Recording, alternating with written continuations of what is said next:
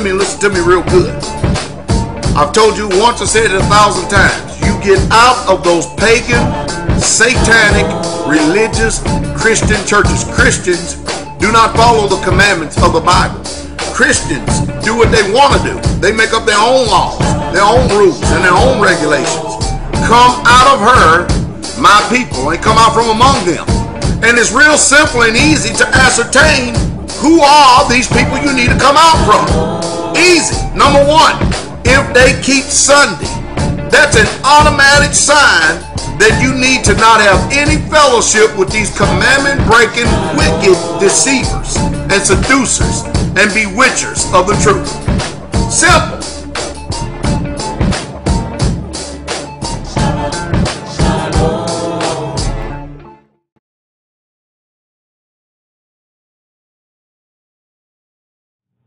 Glory to the King. Well, I hope you all had a blessed and rest Sabbath Shabbat today.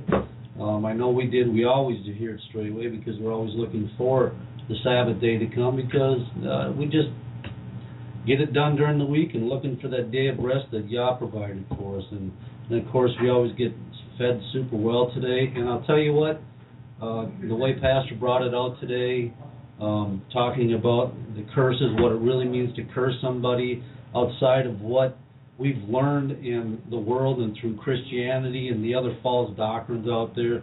I mean, it was an exceptional, marvelous, um, wonderful, uh, you know, look at what is the truth and, and what the lie really is. I mean, and that's that's a message that definitely is one to be listened to, like they all are again and again, over and over. And then next time you get these people that are um, challenged like that and deceived and um, believing false doctrine, hey, you have the answers right there. Hallelujah to the King.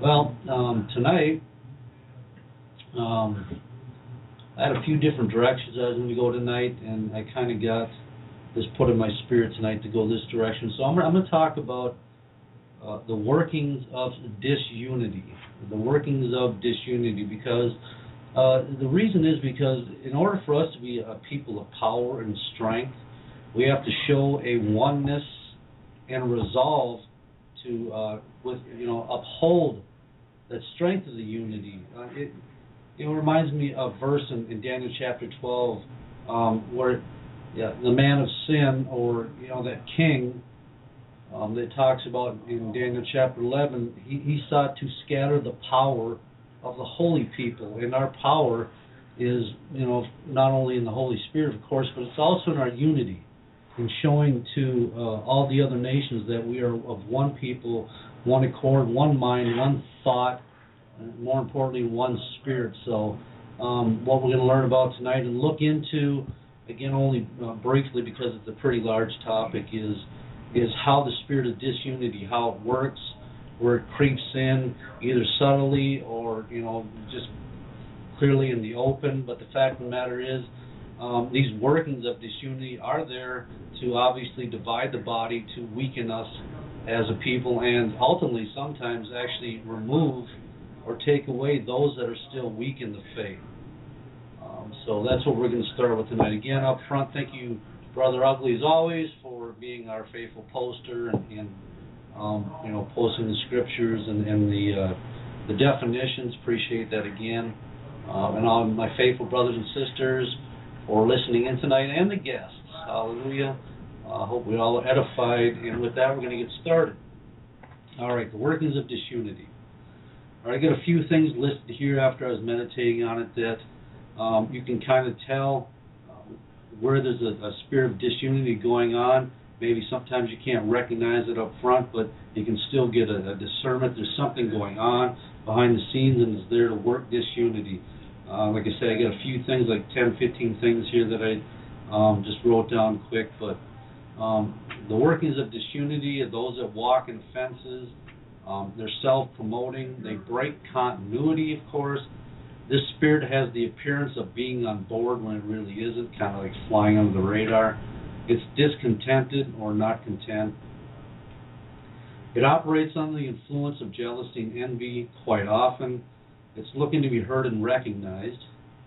It's not in agreement with the whole, thus the disunity. will promote its own way of thinking above the established rule, showing itself to be something when it's nothing.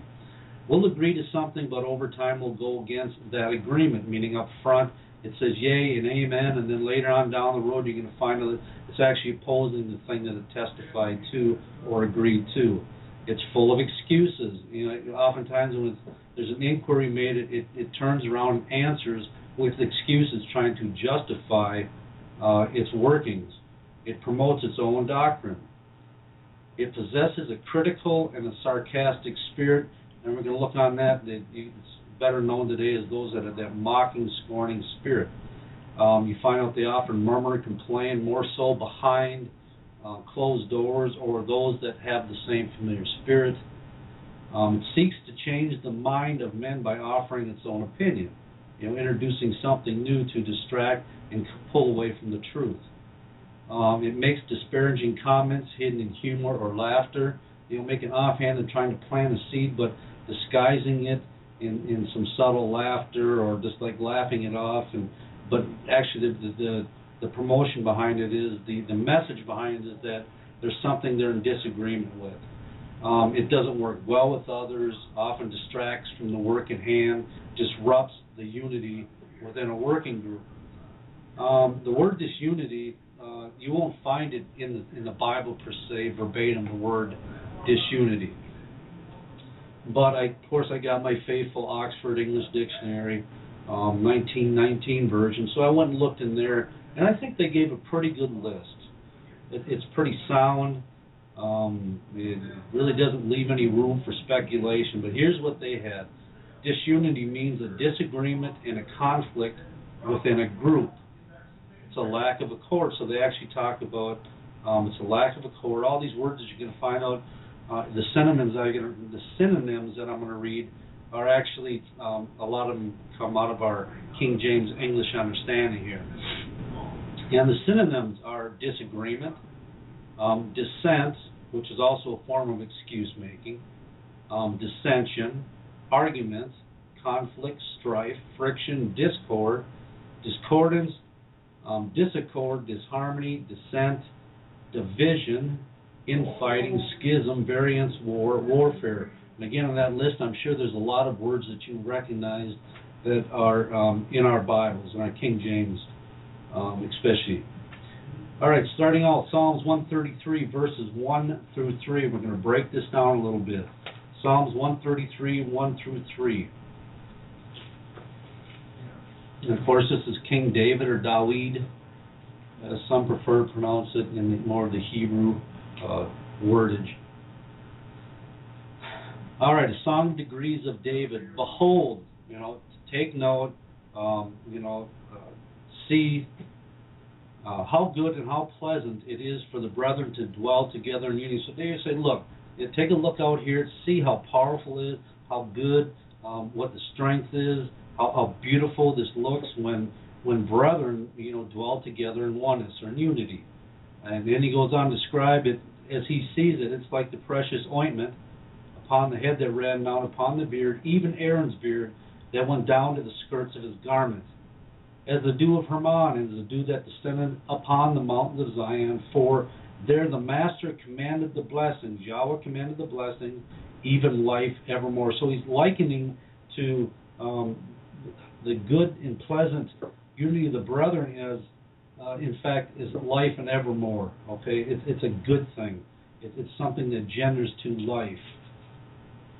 All right, the word dwell, uh, as used in verse one, it's the Hebrew 3427.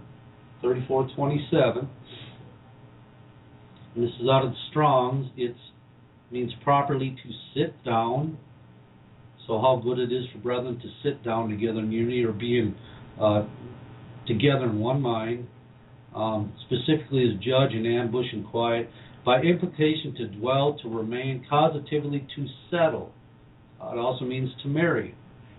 Um, abide, continue, cause to make, dwell, ease self, endure, establish, fail, habitation, haunt, um, to make, inhabit, make to keep, lurking, and uh, place, remain, return, seat, set. So basically, um, it's just the ability to sit together. in agreement. All right, unity. The word unity, the Hebrew 3162, again looking at verse 1. Is the yeah, Hebrew 3162, it's Yakad. It's from the Hebrew 3161, it's properly a unit, that is unitedly. Alike, at all once, both likewise, only, all together, withal. So one is sitting down together in one mind, one accord, one thought, one vision, one spirit. And again, it's from the Hebrew 3161, and that's yakad, and that means to to become one, to join, to unite. So you know, it is good and pleasant for brethren to dwell together in unity. It actually it displays such an atmosphere of peace and, and harmony, and everyone joined together in one mind, one accord, all in one agreement. Uh, but the problem is be, because men forget the devices and tools of the devil um, oftentimes, you know, the workings of disunity manifest, manifest themselves all too often, and that's what we're going to look at these manifestations, so we can clearly see the workings behind the spirit of disunity. All right, 1 Corinthians chapter 1, verse 10 and 11. 1 Corinthians 1, 10 and 11. And these are the, uh, the admonishment of Paul, the words of the apostle Shaul, speaking from um, the letters specifically the one he wrote to the church at Corinth. And Paul says, like David, I beseech you, brother, you know, behold, look, I beseech you, brother, hearken, listen to what I have to say. By the name of our Master Yeshua, Jesus Christ, that you all speak the same thing. Well, why is Paul, you know, imploring on the, you know, implying and saying and, and um, exhorting to the church of Corinth that you all speak the same thing? and that there be no divisions among you, but that you be perfectly joined together in the same mind and in the same judgment. I mean, these are words of admonishment. And why is Paul actually having to say that? Because we find out in the next verse, for it hath been declared unto me of you, Paul's hearing these things, coming back to him, my brethren, by them which are of the house of Chloe, that there are contentions among you. So Paul is finding out that he's hearing from the house of Chloe that they've got these contentions going on within the body, and and what is happening. Paul already knows what's happening, so he writes the letter that you know you all be, speak the same thing. He, he's able to identify the things that actually cause for disunity. He knows that they're not speaking the same thing.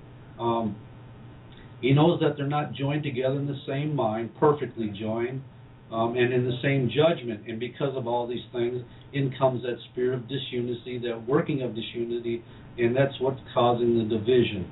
The word division, the Greek 4978, schisma. And this is from the Greek 4977. It's a split or a gap. Literally or figuratively, division, rent, schism. So we actually that there be no gaps among you, no splits among you, no schisms among you, no renting among you, anything that would cause a disunit, uh, disunification.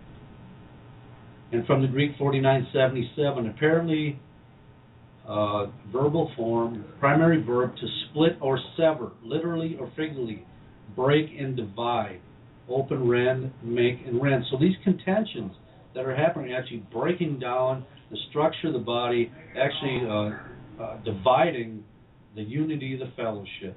And the word contention, as Paul used in verse 11, is the Greek 2054 eris, of uncertain to quarrel, that is, wrangling, contention, debate, strife, variance. All these ridiculous things um, that that actually transpire because a lot of times people leave the integrity of the word, the truth of the word, and start speaking from their own experiences, on their own personal revelations, whatever have you. All right, Proverbs 18:19, still talking about contentions and, and the uh, devastation that this type of atmosphere, this type of carnal mindset produces, these contentions. Proverbs 18:19, a brother offended. Now this is a brother, a brother offended is harder to be won than a strong city, and their contentions are like the bars of a castle. I mean, you understand when somebody's offended, they actually believe they're they're right in their offense, they see from a view a, a viewpoint that um, they actually are justified in the way they're looking at a certain situation. They perceive it a certain way, and their contentions or their arguments or their debates or whatever are going to be the focus coming off of whatever that offense is, if that makes sense. So, I mean, that's where the direction is going to focus at. And, and the thing that says it's harder than one, it's harder to be one than a strong city. Simply saying that there's nothing that can be said or anything that you can offer is a ransom to actually try to convince somebody that they're walking in offense when they are are in this way. And again, the, this working of disunity, of course, is by the contention. So automatically, when somebody's contentious, um, you better have your ears up because there's um, a, a working of disunity going on in the body. All right, the word contention, working, or I mean, word contention in this uh, Proverbs 18:19 is the Hebrew 40:79, and I can actually get this midyan um, it's a variation of the Hebrew 4066. It means brawling, contentious, argumentative, debative, um, that that sort of thing. And that's all because of pride.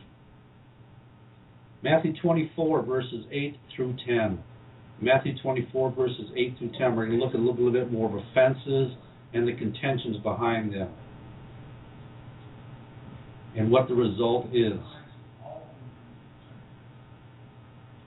Matthew 24, verses 8 through 10. All these are the beginning of sorrows. Okay, Jesus just listed off a whole bunch of stuff that um, you need to go back and read if you're if you're unfamiliar with it. And he goes to verse 9 Then shall they deliver you up to be afflicted, and shall kill you, and you shall be hated of all nations for my name's sake. And then many shall be offended because of why? Because the, the name of Yeshua Jesus, who you represent, and shall betray one another, and shall hate one another. Right there, because of the offense. And this isn't just, um, you know, defined to um, natural family or the other nations. This is what actually within our nation itself. Because of an offense, there is betrayal, and that's again causing division and the breakdown in the unity because they're under the spirit, an offended spirit. Mark chapter 14, verses 27 to 31.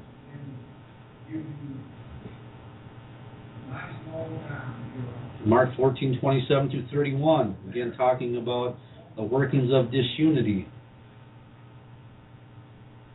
And how about when, when somebody's offended that they'll actually, um, for whatever reason, they'll actually um, cause a disunity in the body and themselves become divided or removed from the body.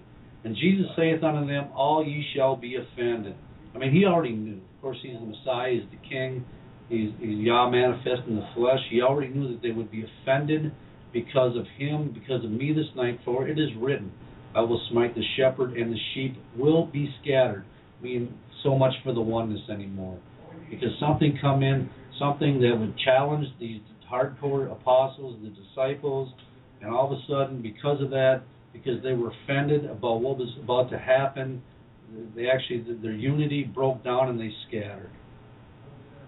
But after that I am risen, I will go before you into Galilee.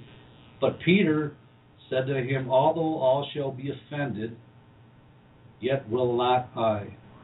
And Jesus saying unto him, Verily I say unto you that this day, even this night, before the cock crow twice, thou shalt deny me three times, already knowing that Peter's going to dissimulate because of offense, because of fear, um, because they didn't they they didn't want to be identified with the Messiah because um, he was actually laid out there as you know as a shame before the other nations and before um, the wicked Jews.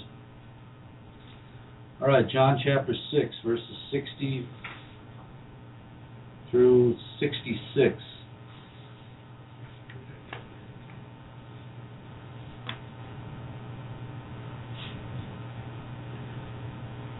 Many therefore of his disciples, when they heard this, said, This is a hard saying. Who can hear? Here comes the offense again. Something was presented they couldn't handle. They didn't have the concept. They couldn't grasp.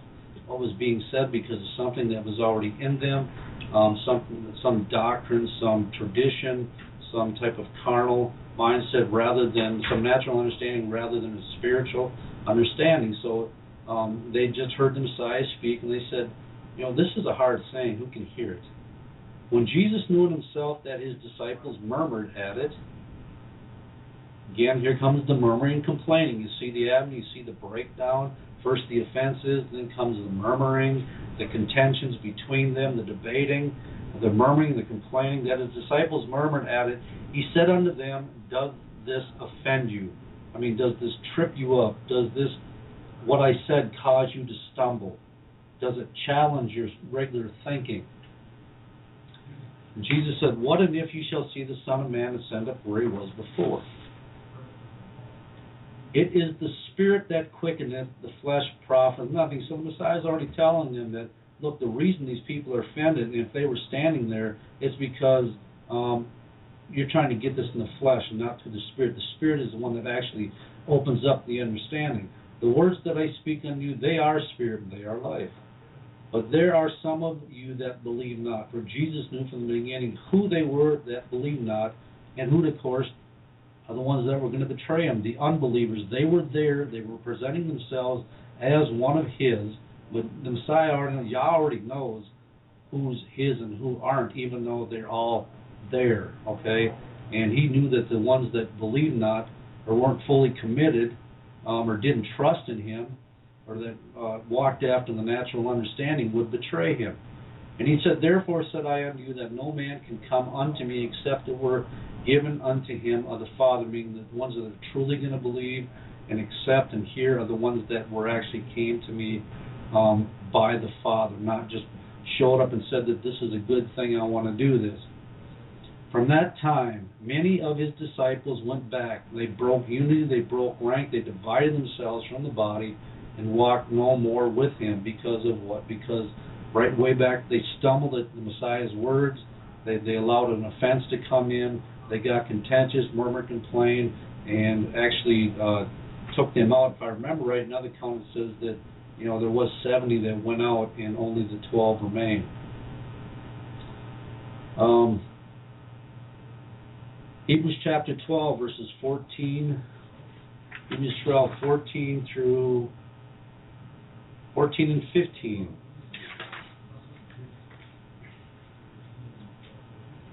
Again, talking about the workings of disunity.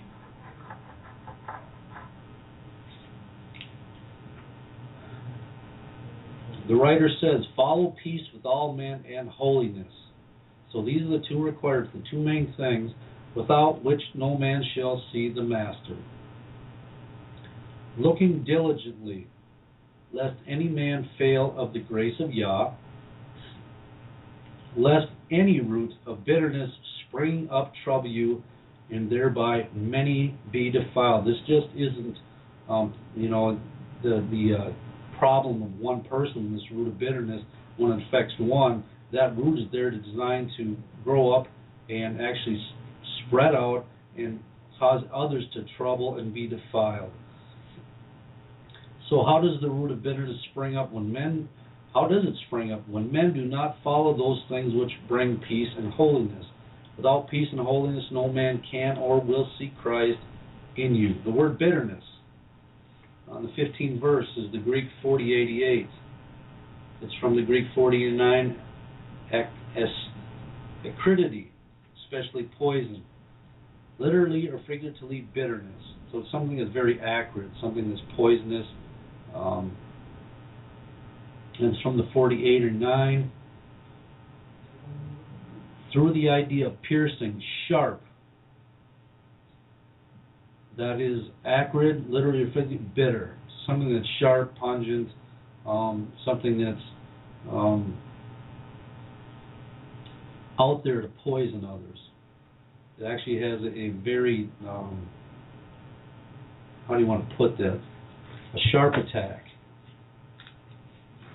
And the word bitter.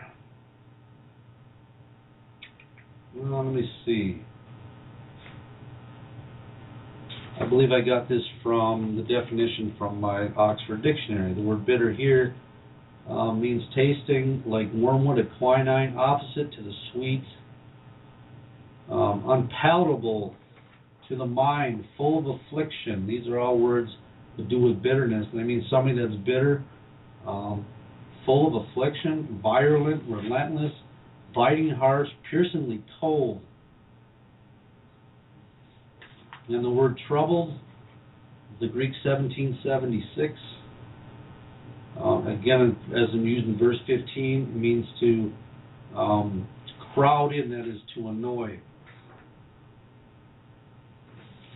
or trouble.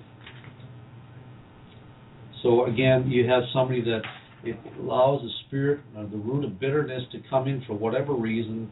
Um, they see something out of an evil eye. Here comes this bitterness, and of course, this root of bitterness spreads out. This this, this plant, this, this uh, you know this vine spreads out, and it's going out there to um, grab hold of others to entangle them in the, the cause of its bitterness, trying to thereby defile many, and of course breaking down the unity of the body.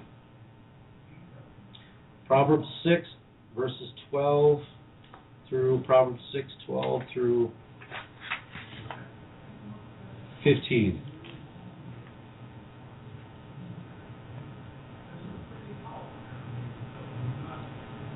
All right. A naughty person. Okay, we're going to look at the characteristics of a naughty person. This is actually somebody, when you listen to the uh, words that um, Solomon used here, you'll find out this is somebody more or less, he does thing, things covertly, sneakily, you know, and, and um, behind the scenes, operating under the radar to actually cause these types of, you know, a dis, uh, disunity in the body, a division. Um, and, and pay close attention because here it gives you a lot of good indications, a lot of clear manifestations of what to look for. I'll be careful. I mean, you know, I'm, what I'm not advocating is everybody that does, you know, whatever it is I'm about to describe here is actually working in cooperating or trying to walk in the spirit of disunity. It's just that your radar should be up and you should be aware. We can't allow ourselves to fall into, you know, deep suspicion and you know ultimately accusations. But these are just, um, you know, how to keep your spiritual eye open. Okay. And again, the pastor said it before, and it's right. We're not out there trying to always, you know, con- continually, you know, discern evil on everybody. But the fact of the matter is, evil is there, and we have to be have to watch. We have to be sober and watch. Proverbs six twelve: A naughty person, a wicked man walketh with a froward mouth. We're going to break this verse down a little bit because there's a lot here. Now, the word naughty, as in a naughty person, is the Hebrew 1100 1100 Beliahel, and it's from Hebrew 1097 and 3276. It means without purse, without profit. Basically, somebody that has no fruit, that adds nothing. So we have somebody that a, a, a person without profit, a wicked man, worthlessness, by extension, destructive, wickedness, um, so again, the focus is on somebody that has no profit, has no fruit, adds nothing. So it, it, it's somebody that is a pretender that's there, but they're operating in, in, in the uh, capacities making others believe that they're actually a part of the body. I mean, uh, I mean, normally people don't pop in my mind, but this just did, and I'll just offer. Do you remember uh, what's his name up there from Canada, Dave Thompson? I mean, uh, this is basically somebody that uh, this fits very well because the whole time he was with us, um, spiritually, I don't know if he ever added anything. I mean, he did a little bit of labors when he was here, but as the spirit, this whatever this bitterness that crept into him began to get deeper and deeper, you can see there's actually no profit at all. He added nothing. He actually was trying to take away and destroy the unity with with his own bitterness. But anyway, a wicked man walketh with a forward mouth. Um, so we have a naughty person, a wicked man, walketh with a froward mouth. The word froward is a perversity from the Hebrew 6141. It's basically a perverse mouth. And that's a, um, again, from the Hebrew 6141, which distorted, hence false, crooked, forward, perverse. So we have somebody that walks with a, uh, a, a false speech, false words, um, and from the Hebrew 61:40, to not or distort, figurative to, pervert, act or declare perverse, make crooked, prove that is perverse. So they're actually there to pervert something, to represent something other than what it is, to try to skew something for whatever advantage sake they can gain from it, whatever they can do to um, accomplish their own agenda. Verse 13, he winketh with his eyes. This again is the naughty person, the wicked man that has the perverse or crooked or false mouth or speech. He winketh with his eyes, he speaketh with his feet, he teacheth with his fingers. So actually what Solomon is, is he's telling us these are the telltale signs that you can tell somebody that has a um, unprofitable spirit, that is a wicked person, that is walking in with a false mouth or speech or doctrine. These are the these are the things to help identify. Uh, it's clearly right here what you're dealing with. It says he winketh with the eyes, he speaketh with his feet, he teacheth with his fingers. So what's this mean? Well, the winketh is is the Hebrew seventy one sixty nine. It's karats or something like that, pronounced sort of like that. It means to pinch. All right, that is now pay attention to this next one. It means to bite the lips. We're talking somebody that winks with his eyes. This is another manifestation of this part of the sentence blink the eyes as a gesture of malice. Oftentimes, you know, we've seen people blink with one eye as like, yeah, you know, you're with me. Um, you know, you, you understand where I'm going, um, or I'm just gaming you, I'm playing with you, whatever. People wink with the eye. To squeeze off a piece of clay in order to mold it, a vessel from it. Form, move, wink. Um, so we have two little gestures here. We have first just generally to blink the eyes or blink one eye or wink with the eye. But the other one that's really interesting, like it's just brought up, was to bite the lips. How many people can you think of that you actually see them walking, uh, you know, you maybe at work or maybe hopefully not, but a brother or sister in the ministry that you know that you actually see them biting the lip. If they chew on their lip, bite the lip, especially an uncomfortable situation, um, something where um, they, they feel they've been found out or discovered something going on behind the scenes, you know, inventing and promoting something.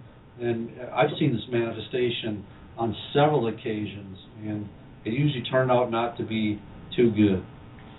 All right, speaks with the feet, um, exhibits fits and temper tantrums, stops potholes, and the pastors talked about that for years. People that manifest the, you know, you see some people because they're all fit and they're having temper tantrum and they're all discouraged and mad about something basically, you know, walking down the feet, planting their feet hard in the soil, basically, you know, stomping potholes in the pavement. Um, vents his frustration as he speaks with his feet, and makes his rounds. Have to be a part of every conversation. Will invite themselves in and take over. You know, this is somebody that um, operating this capacity gonna keep putting forth the fingers because. No, pastor's up here, so. Sorry. You're all right, Pastor. Shalom. But he, uh, you know, speaks with the feet, meaning that, um, you know, he he, he uh, not only isn't showing his anger, his frustration, or his dismay or disapproval of whatever the case may be that actually causes this person, this naughty person, this wicked man, to uh, you know send a message by actually uh, physically stomping his feet or or whatever the case, or you know planning him hard as he walks away in disapproval. But it's also in in a more op- secret operative way is somebody that you know uses their feet to go from one place to the next to the next to be able to plant certain uh, information, whatever it may be. Most of the time, it's it's information, self-centered information. I mean, you've been having a conversation before. There's two of you, and here comes somebody that walks with his feet. Right? You're having a good, hearty conversation. Somebody will walk up there, stand there, and all of a sudden try to take over the conversation. How often has that happened to you before? I mean, if you think about it, you know. So just beware, because there's a reason, there's a drive and a motivation for this. All right, teaches with the fingers. Um, these are manifestations that you can watch for. You know, they ball up the fist. You know, they, they put out that index finger, just shake it, trying to get the point across. Um, lay hands on it appropriately. Um, you know, use a great deal of hand motion to illustrate his point, their point. Um, and of course, when people teach, you understand it, teaching is a promotion of an idea, of revelation, or doctrine. So if, if what I'm saying is making sense, as they try to promote or whatever it is, whatever their stance, their circumstances, try to draw attention to themselves. Remember, we're dealing with a naughty and wicked person that ultimately, by walking in this capacity, is there to cause disunity in the body. So um, these are just telltale signs that to be careful of. Is it always the case? No, not ever, but um, not always, I should say. But it, it's something to watch for, you know. And, and a lot of people get just overly animated with stuff, and they actually the animation is distracting you from the words that are actually could be coming out of their mouth. And uh, you know, when I said they lay lay hands on inappropriately, I mean the Bible says to lay hands on no man suddenly. And I've had in the past people actually restrain me physically, um, grabbing me, so they can actually tell me what it is they think they, that I need to hear. I mean, holding me until they get done speaking to me. Now that is a very uncomfortable place to be. Proverbs continue on, verse 14. Frowardness is in his heart. Remember, we co- we copied that, or we covered that. Excuse me. That means perversity or falsity is in his heart. He devises mischief continually. He soweth discord. We've been hearing about that the last couple weeks, haven't we? Um, that's a sort of a strife. And verse 15, therefore shall his calamity come suddenly. Suddenly shall it be broken without remedy. There is there will be no recourse because uh, a, a wicked man, uh, a naughty man, can only continue for so long before these things finally come to an end and the the uh, hammer comes down, so to speak. Um, the word calamity is the Hebrew 3, 343. Uh, it's pronounced had, and it means oppression by implication, misfortune, ruin, calamity, destruction. So when somebody's calamity comes suddenly, their misfortune comes, their ruin, um, all because of what pattern they're walking after, how they're conducting themselves, and they finally get caught. I so you, I just put on Skype, I ain't even my Skype to who knows how. Proverbs 16, verse 28 to 30. Proverbs 16, 28 to 30. I don't never talk to those people. They should update it when it up. They should go- A froward man soweth strife, and a whisperer separateth chief friends. So we're, we're talking about a perverse man, a false man. He soweth strife. Back to the contentions again. Somebody that's continually contentious. And Pastor talked about the sowing and reaping a couple uh, couple weeks ago. Beautiful message. And a whisper um, separateth or causes disunity among chief friends. It, I mean, you can actually plant something that's so powerful um, uh, by whispering or by coming silently or in stealth and actually speaking words that you can separate those that are very close together. That's how powerful and deceptive this thing is to even take away those that are, you know, firmly rooted and, uh, and grounded. So be careful. I mean, the, the Bible talks about, Jesus talks about that if it were possible, that they would deceive even the very elect. Well, here we have the case of the whisperer um, causing separation between very close friends just because he's whispering. And this, again, is coming from somebody with a perverse, um, strifeful type of spirit and, and uh, attitude. A violent man entices, or that persuades his neighbor, and leadeth him into a way that is not good. Verse 30, he shutteth his eyes to devise. That means he he shuts his eyes uh, to plan, to fabricate, to plot these perverse things, these forward things. Moving his lips, he bringeth evil to pass. So there's actually a concerted effort in the mind. Um, it may not be a, a conscious or subconscious effort, but there there's something going on in the reason this whisper is going about this this man that's sowing strife. And of course, he does it by moving his lips. He brings these evil things to pass.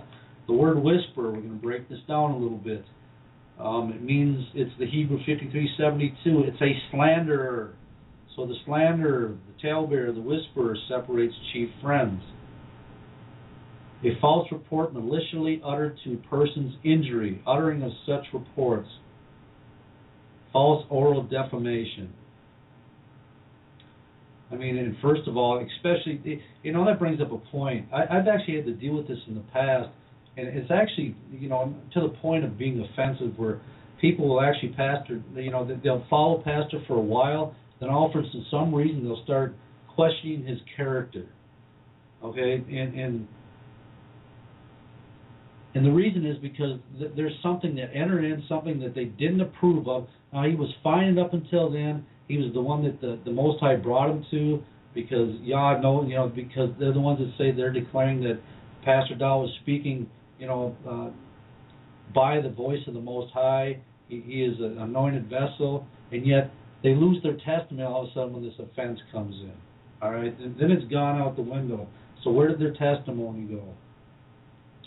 And the word violent, a violent man, as we talked about in verse 29, is a, by implication, wrong, violence. It's the Hebrew 2555, excuse me, brother, I believe 2555. It's from 2554, violence, by implication, wrong, um, unjust gain, cruel, um, damage, false, injustice, unrighteous, violence, violence against, wrongdoing. So we have somebody that's a wrong man, that, that, that is a wrongdoer, it's unrighteous man, persuades his neighbor, entices him. From the Greek 2554, kamas, a primitive root to be violent by implication to maltreat. You know, we're still de- dealing with the word violent, the violent man, one that maltreats. Make bear, shake off, violate, do violence, take away violent wrong, imagine wrongfully.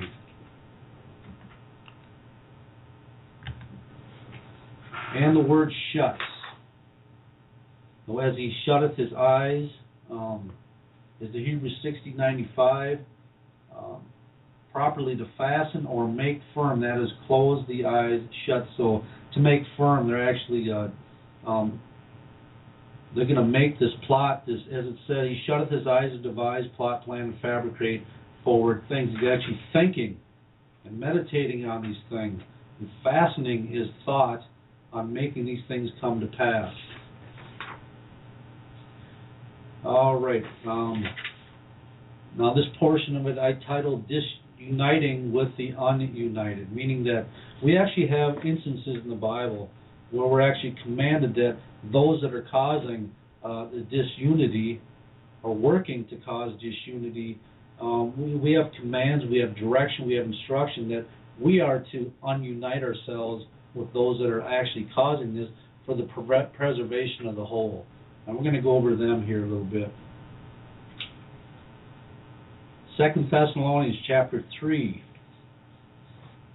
um, up to verse 6 up to verse 15.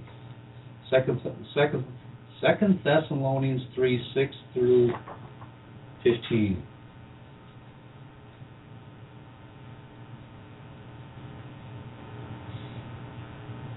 Now we command you, brethren, this is a command for the brethren, in the name of our Master Yeshua Jesus Christ, that you withdraw yourself. This is actually a command from the Apostle Paul to the church at Thessalonica that you withdraw yourselves from every brother that does what? Walks disorderly. And Paul is going to define for us how a brother, what it means for a brother or a sister to walk disorderly, and not after the tradition which he received of us, something that he already knows that he or she already knows that they're supposed to be doing, but they're not doing it because this is bringing in a spirit of disunity amongst the whole. And we're going to find out how that's going to happen. Verse 7 For you, you yourselves know how we ought to follow us. For we have behaved not ourselves disorderly among you. Talking about uh, the ones in the headship positions, the ones that are the elders, the leaders, the teachers.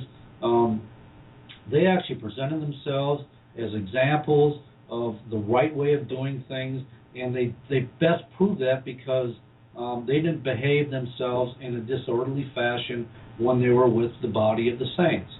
So that's what we need to look at. That's the focus and the attention. Verse 8 Neither did we eat any man's bread for naught. I mean, just for no reason at all. We just didn't show up and decide we're just going to sit down and eat something. But they earned this. How did they earn this bread?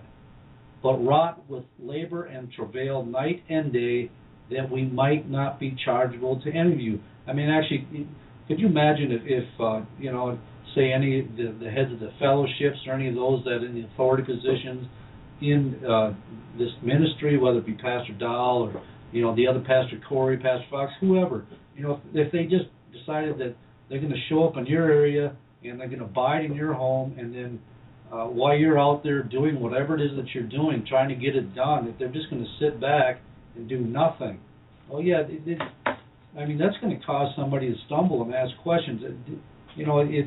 I made a mistake years ago when I first got into um, this way of righteousness and holiness and, and the Israelite way. We're still calling ourselves, um, you know, the, the best form of Christians that we knew, but there was a pastor from another ministry that I used to follow that um, he actually came for a personal visit, him and his wife, and you know, because of the false American humility and and still being new to the Word, you know, he was out there with us in the morning, like me and some other brothers. It was uh, it was like 10, 12 below in the middle of winter in, in North Dakota near Bismarck. I mean, it was rough. And I see him coming out there, and I'm like, oh, Pastor, you know, that's all right. We got this covered, man. You know, trying to honor him. He's like, oh, no, uh-uh. that's right, Brother Ugly, the piss is. But, but, uh, you know, it's like because of the doctrine I had in me, I was trying to show him honor, saying, no, nah. but, you know, actually, he already knew, of course, better what the Word said, and he didn't want to be chargeable to no man that he just laid around and did nothing. You know, so I actually learned a lot by that. It really helped open my eyes. But um, not because we have not power, not because they don't have the, the right or the authority or the ability to, to you know sustain or to keep back from actually jumping in there. But we make ourselves and examples unto you to follow us because remember we're talking about those that we're supposed to withdraw ourselves from because they walk disorderly. They're actually adding something um, negative to the whole. For even when we were with you, this we command you that if any would work not, neither should we should he eat. At this at, at Straitway, and um, a great deal of you that are listening now are familiar with what we do here. I mean, our custom here, way from the inception, when Pastor Dowell, you know, by by the leading of the Most High, and the Holy Spirit got this work going that um, we're a, a community that's um, centered and focused around full work days. When it's six days you shall labor, we work six days, and we work from basically sun up to uh, a lot of times sundown. I mean, we we pull back a little bit in the winter, um, but even after dinner, there's still chores to do and duties and responsibilities. So it's not like we we can just work nine to five and we're done. This is our custom here. So when you see that, the example, uh, and and you'll see that reflection, of course, in a lot of the other fellowships uh, of the ministry scattered around the United States. Just watch the videos, go visit, um, and we all carry the same type of spirit. But this is what happens when we have those that don't, because uh, again, we have these examples in front of us. Primarily, Pastor Dowell. This is how he uh, he goes, and this is the reason he goes because he knows what the Bible says. Man, we got to get out there and get it done. Um, verse 11: For we hear that there are some. There's a few, not everybody, but there are some which walk among you disorderly. How do they walk disorderly? What is the reason for this disorder? That they conduct themselves in a disorderly way, working not at all, but are busybodies. All right, the word busybody, the Greek 4020, um, it means to work all around, that is, bustle about, be a busybody. And, and again, I'm, I'm sure you've all seen demonstrations of this, whether it's on a secular job or um, if you um, you know may have seen it here at the community, Yah forbid, but hey, it does happen. You have a bunch of brothers together. I mean, we are getting it done Everybody knows their place, their position. The job is flowing well. We're working in a, a great accord, one unity.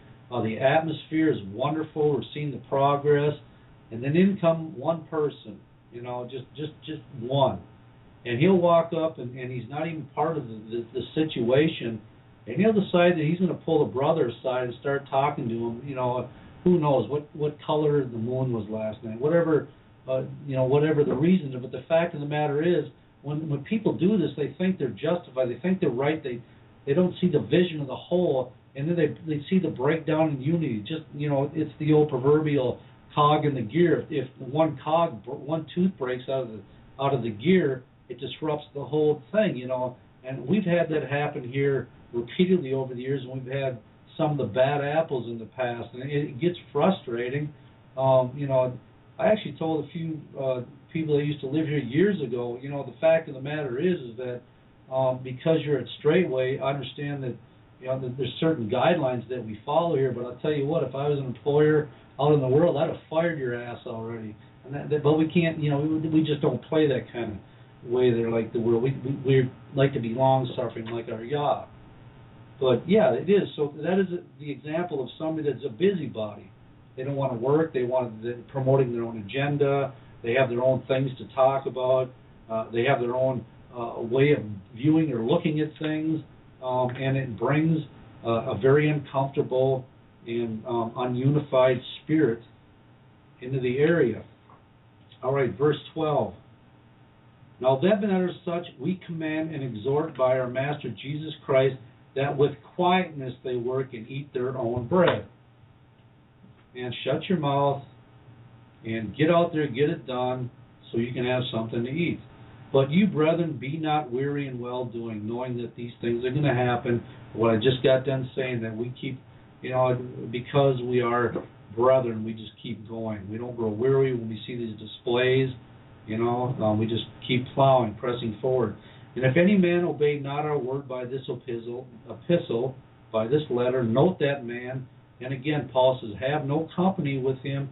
For what reason? You exclude yourself, you remove yourself, and as somebody that has enough discernment and sense, it isn't so self-centered. They can actually, they'll actually feel ashamed and understand that, um, hey, you know, what is going on? And you know, another thing, we'll be all together working, and we have the same situation, or we have people already in the group, and they're working together. It seems like thing. When somebody will get spiritual or bring something up or start a conversation about, you know, did the Mets win the World Series? You know, whatever it can be stacking wood or whatever the case is and they'll stop what they're doing. And then they want the person they're talking to to stop at the same time, and it disrupts the flow again. You know, so commonly what I've learned is, brother, you can you can well, it's fine. You know, there's no nothing to forbid you having a conversation, but keep working while you do it. Can can you keep performing the same task so we can all get this done together? You know, many hands make light work.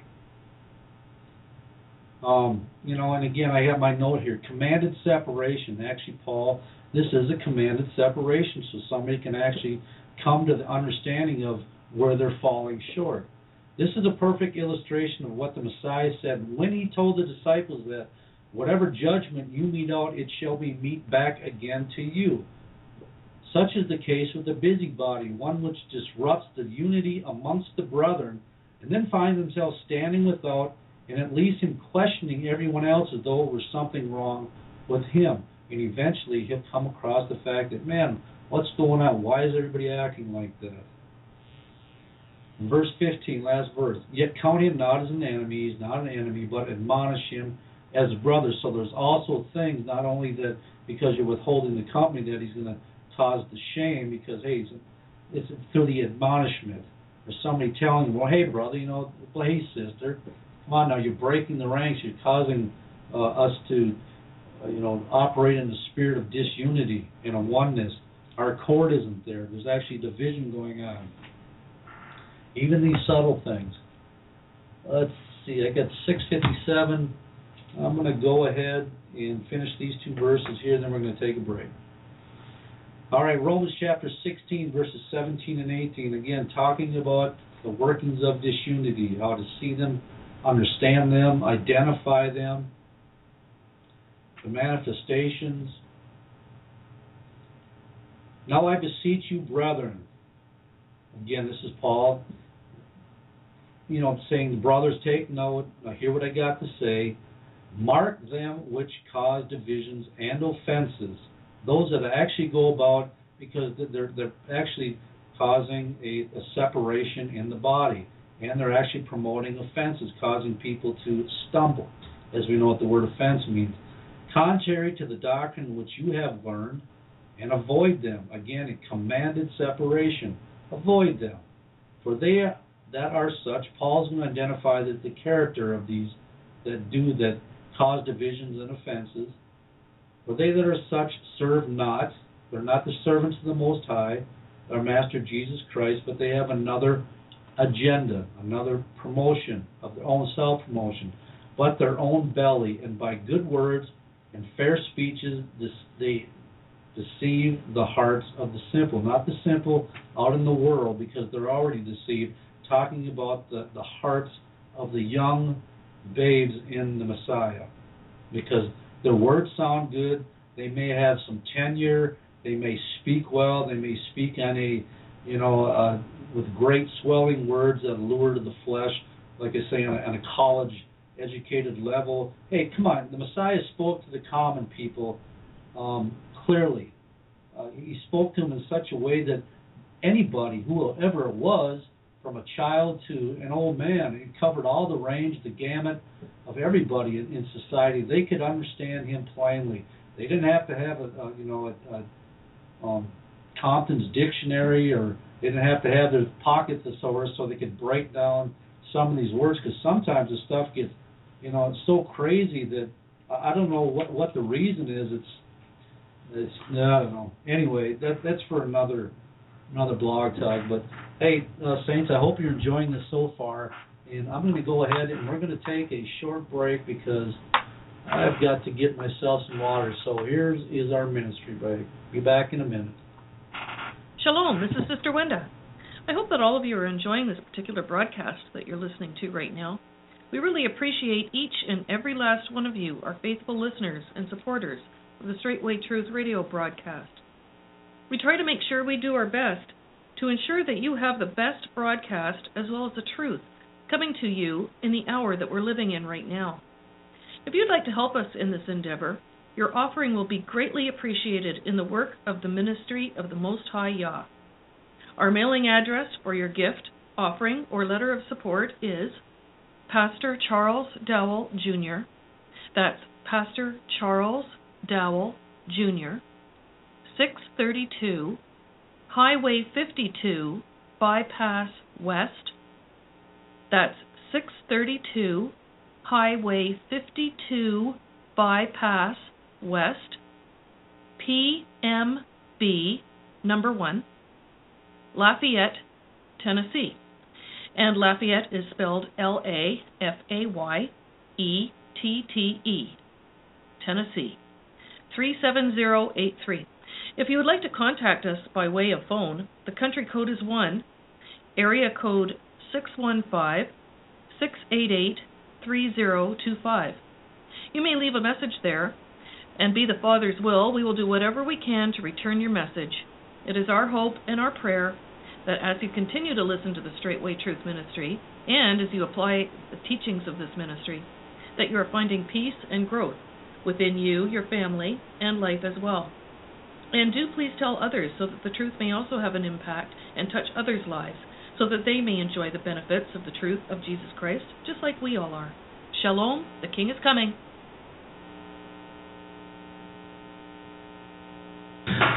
The King is coming. Hallelujah. That is the truth, Sister Wenda. All right, back to the study again on the workings of disunity. The workings of disunity. Okay, going back, book, uh, First Timothy, book of First Timothy, chapter six, verses three through eight. First Timothy six, three through eight. We're taking more looks at how this spirit works, how these different spirits work to cause disunity, how they manifest themselves in, in the physical. All right, verse 3. If any man teach otherwise, and, and they teach otherwise in what? There's conditions that Paul is setting forth here in his letter to the young Timothy. If any man teach otherwise, consent not to wholesome words, even the words of our Master Jesus Christ, which of course is the wholesome words that Paul is talking about, and to the doctrine which is according to godliness. You know, what? a wholesome word uh, is a word that's uncorrupted. It's a word that's safe. It's sound. It's the pure word. It's the word of the Messiah. He is proud. So Paul's going to identify the characteristics of somebody that will not consent to wholesome words, to sound words, to uncorrupted and safe words. Not words that are, um, not doctrines that are pulled in from um, other crazy avenues, from, uh, you know, the likings of other books and other writers He is proud, he, knowing nothing. Even though it sounds like he knows something, he really knows nothing. But doting about questions. Um, doting about, the, the word doting means to hanker after, to harp after, to be driven to speak, uncontrolled impulses.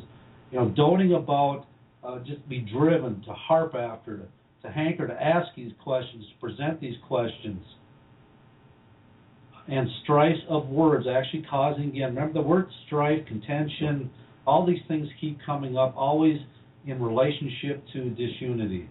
Whereof cometh envy strife railings evil surmises? All these things are the byproducts or the fruit of somebody that's continually presenting doting about driving after you know uh, harping after um, you know being continually like you know the the the voice in your ear pushing certain doctrines, and out of all this stuff comes these envies and strife, railing, and evil surmisings. And already they've been identified because they can't um, consent or agree to speaking from wholesome words. perverse disputings of men of corrupt minds. Now, Paul is identifying that the character, these men are actually speaking from a corrupt mindset and destitute of the truth, supposing that gain. So there's a reason that they're doing this. Gain is godliness. Do what? From such withdraw thyself.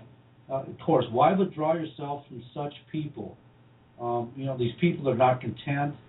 They have driven desires to teach and expound their own doctrines that go outside of sound, uncorrupted, safe doctrine. You know, they, they come up with something new. You know, a different revelation, a, different presentation, a different interpretation of an established truth. And by allowing the words to be spoken amongst those who are sound, will bring about all those things which will lead to disunity.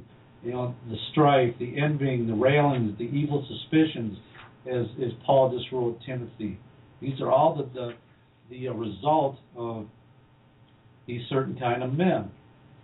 Verse 6, but godliness with contentment is great gain. So, so Paul is telling Timothy the reason that these people are actually motivated to go this direction, and, and because they are, because there's something in it for them, because they feed their own belly, you understand, um, it's because there's not a contentment. They don't know how to be content.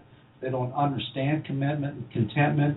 They have to have something, uh, what they believe to be more greater, more important, and more self-sufficient uh, or self-gratifying uh, than what is it means just to be content. But Paul says in, in six six that to Timothy, but godliness with contentment, that's the greatest gain there is. Not showing how much you know or presenting how great you are, or you know whatever the case may be. This is the greatest gain there is, just to learn to be content and be godly or live holy and righteously in that contentment. For we brought nothing into this world; uh, we came in empty. It is certain we can carry nothing out. It doesn't matter everything that we try to heap to ourselves, it isn't going with us. And having food and raiment, let us therewith be content. So again, you're dealing with somebody that is um, an object of causing disunity. They're not content. They're not happy. They're not at peace with the situation. Always trying to change something, inject something, add something. Um, you know, to not. It's it's also a form of control. All right. But again, the bottom line is it brings in the strife, the envyings, the jealousy, you know, the the, the railings, the evil the evil uh, suspicions, you know, he's doing this, she's doing that, all because of this type of approach. But again, the bottom line that Paul said to Timothy, man, just be content.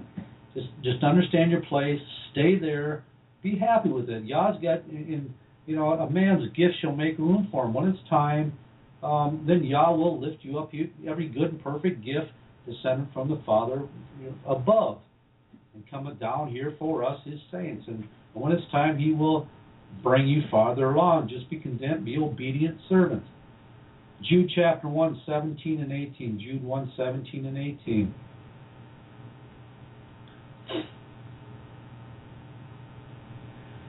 But beloved, all right, my, my beloved, my brothers, my sisters, ones greatly loved, remember ye the words which were spoken before of the apostles of our Master Jesus Christ. So these are the things that the apostles actually spoke and more than likely received them from the Master himself, Jesus Christ, while they were with him. How that they told you that there should be mockers in the last time who should walk after what? Own ungodly lust. And we brought up mockers earlier. They're the ones that oftentimes you can identify a mocker with the little hints of sarcastic speech, the critical speech.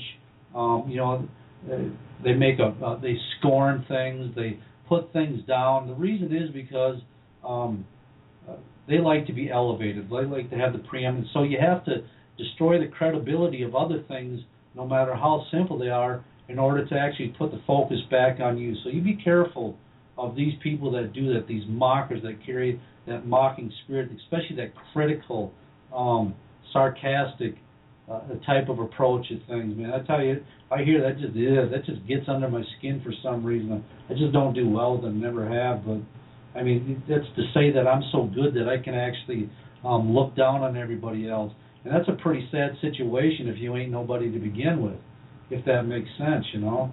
I mean, Yah help us. All right, three John, the third third John um, nine through eleven. Third John nine through eleven. Oh, and this man has come up in a lot of conversations. Just just an example for our learning. And I wrote unto the church, but Diotrephes. Here we go. But Diotrephes, who loveth.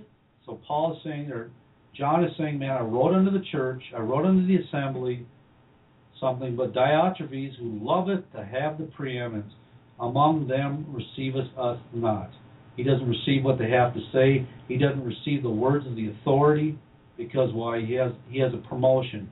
He has an agenda. He wants to have the preeminence, whatever it takes to get there. Again, this preeminence is self-centered, selfish behavior, thinking himself to be something, not waiting for the Yah to actually put him into place is causing a dissension in the body, causing a disunity. Wherefore, if I come, I will remember his deeds, which because hey, John's coming with it. You know, he's coming with a purpose. If he comes, he's going to let this man know that man. He's not going to let this thing go unchallenged. I will remember his deeds which he doeth, prating against us with malicious words. Why? Why is he trying to do this? He's trying to tear down the authority. Let me tell you something. If you're ever in a situation where you have a brother or sister attacking, however subtly it is, however you know on the slight it is against um, Pastor Dowell, the elders, those that Yah has ordained and put in this position, the heads of the communities. I mean, you either let them know right away that you're not going to deal with that jacked up spirit, you don't want to hear no part about it, or just remove yourself, like the Bible says. You withdraw yourself because you will be sending a huge message. Do not allow yourself to be taken with them kind of words. Wherefore, if I come, I will remember his deeds which he doeth, prating against us with malicious words, and not content there, therewith. Again, the reason this man is not, uh, the reason he's doing what he's doing, that he's driven to do what he does, wanting to have the preeminence, wanting to be recognized and received by everybody else except those that are in authority because he's not content. It goes back to being content again. Neither does he himself receive the brethren, and forbiddeth them that would, and casteth them other. I mean, he's just laying waste to the assembly here because he has a self centered, self justified goal of wanting people to recognize who he is because he thinks himself something when he's nothing. And again, this can be brother or sister. I oftentimes use it in the male um, male figures because men have more of a tendency to do this than the sisters do. That's why.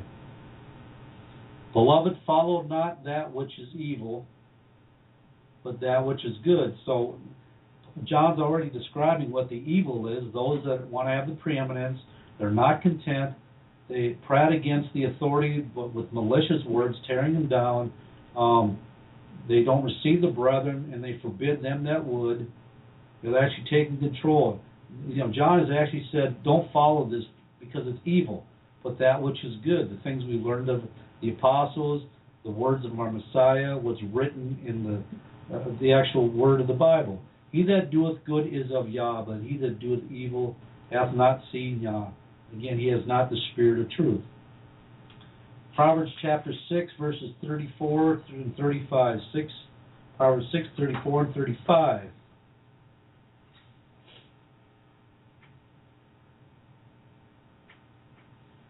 For jealousy is the rage of a man. So you want to see somebody that's continually angry, upset about things, more than likely he's operating under pretenses and influence of a jealous spirit. Therefore, he will not spare in the day of vengeance. I mean, this is self motivation. Rage is self motivation. You will accomplish what you set out to do under the spirit of rage. It's not going to spare in the day of vengeance. It's not going to take anything into account. It's not going to withhold any harsh words from anybody. It's going to speak. Uh, just open up the, the septic tank and just let the you know let it all spew out. Man, he, they're right. Man, it's their day of vengeance. They're going to let it out. He will not regard it as any ransom, neither will he rest content. Again, here it comes. He won't be content. Though thou givest many gifts, there's nothing you can say, nothing you can convince this person that he's operating out of a jealous spirit, that he's full of rage, because he's justified. And I'll tell you what, I wouldn't want to be in the place of that type of attitude, that type of um, jealous and envious, envious spirit where it actually gets to the point of rage, where you have to actually exact your rage and your vengeance on your fellow brother and sister and actually speak those things, what you shouldn't. I mean, I've even had rumors trembling back here of some of the things that our holy sisters have been, been called, and it's just damn disturbing. I'll tell you what. I mean, when you start uh, sitting up and addressing the saints, the brothers and sisters, in a certain attitude, you actually place yourself in a judge's position and become a judge of the law. And I'll tell you what, I don't want that judgment to return on my head, not for a second. All right, Jude chapter 1, verse 19. Jude 1, 19. These be they who separate themselves. They disunite. They take themselves out, which is a good thing. But why? Why do they do this? You know, it's not telling. There's no telling how many of the people have already been affected by the time this point comes where these people separate themselves. They're sensual, having not the spirit. Um, so, how do men separate themselves? Let's take, for instance, again, the spirit of mocker is one which does not agree with or support the whole, but one which seeks to detour men from their work or whatever that may be the physical labor, the work in the ministry, um, the edification of the body, whatever it is. It does not have to mean leaving the assembly or going out from the assembly, but it can be done while we are present with the body, talking about those that separate themselves. It doesn't actually have to be a physical removal. We are talking of those which, because of their own lust, separate themselves so that they may do their will and not the will of the whole. One needs to have the Spirit in order to be joined into the Spirit. For the Spirit of the truth is the common thread which binds us and deters us from doing our will and propels us to do the will of the Most High. Um, you know, take for instance those who would always rather work alone or unsupervised. They then become an island unto themselves with a much lesser degree of accountability. But these same individuals will come into the presence of a united group, all working in the same spirit and seek to disrupt the unity. And I'm speaking out of pure experience here, actually relating past experiences to what the Word says, being a first-hand account. I mean, we've had brothers come here again, and uh, again, at Straitway we work. We don't sit on our rear ends. We don't have Bible discussions all day long. As Pastor says, sit around and and, and beat you know beat the scriptures and, and drink coffee or flip scriptures or whatever. We're, we're out there. We're working with our two hands, laboring with our two hands and trying to get this work done. And you, you've had brothers in the past here, and you'll look and they'll be gone. I mean, I may have actually had to go knock on doors where I know brothers are staying, visitors, and say, brother, you know that's not how we do it here. A lot of times I understand that they haven't been with the ministry long, they're still operating after a certain manner. And then we also have to understand that you know you have to approach them. If it's 90 degrees out, you have to use common sense and say, look, you know they they don't deal in this heat every day. Um, there's certain factors they may have removed themselves, but the point is you still have to let them know within the body to keep the unity. There's accountability. Hey, brother, I'm going here. Brother, I don't feel well. Um, you know, it's just the heat's been too much or my back is hurting, whatever the case may be, be accountable. Just say, hey, you know, so we know. So the devil doesn't give no give no place to the devil. He doesn't come in and say, well, this brother just went. But other times, it, like I started this out, people will just bail. They'll look around. Uh, there'll be a little stoppage in work. They'll be gone. They'll they'll take off like that. You go find them sitting behind a computer screen or sitting back up in their house with next to the fireplace, whatever the case may be, and you really try long suffering to say, no, bro, this is not how we operate. You know, we're all trying to be. The work isn't that tough, and you're not going to die. It's not going to kill you. In fact, it'll make you better and stronger. But again, it, it's working through this um, secular, Western, damnable um, upbringings. Hallelujah! But we have hope. Grow weary. Don't grow weary in well doing.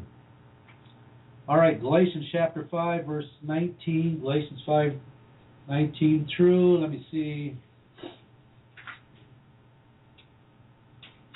uh, 19 through 21. Now the works of the flesh are manifest. They're made known. You can actually see them. Which are these? They actually take place. There's an action behind them. Adultery, fornication, uncleanness, lasciviousness, idolatry, witchcraft, hatred, variance. Variance is another word for divisions.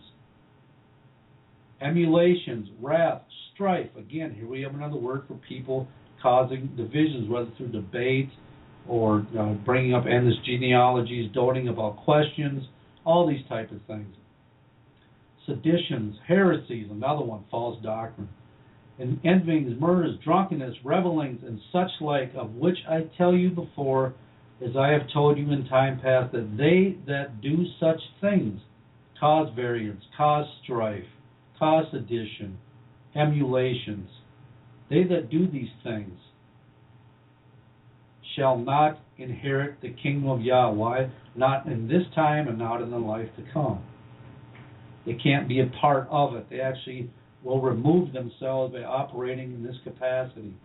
The word variance, Greek 2054, is a res of uncertain affinity. It means a quarrel, that is by implication wrangling, contention, debate, strife, variance.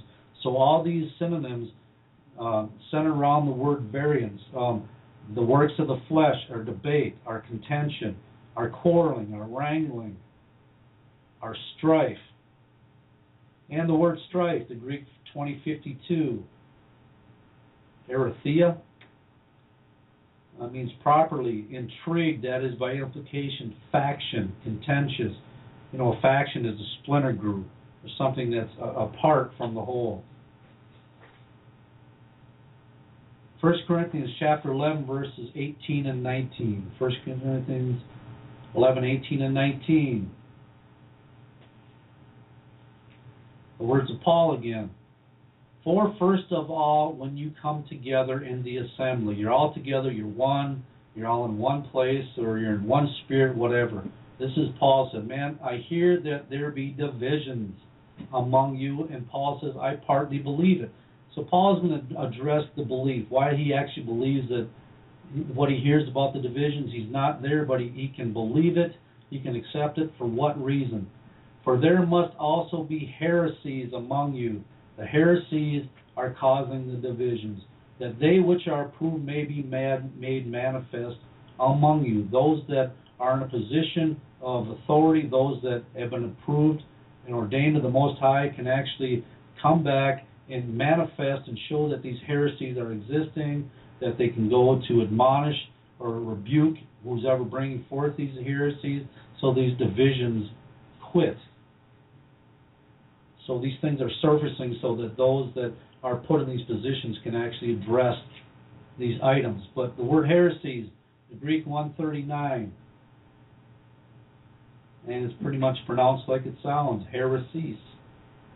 It's from the Greek 138, properly a choice, that is specifically a party or abstractly disunion. So I, I for there must be also disunions among you. Disunification. Heresy is the Greek word itself. Heresy, which is of the Greek word itself. Well, I don't know why that's in there. And it's from the Greek 138.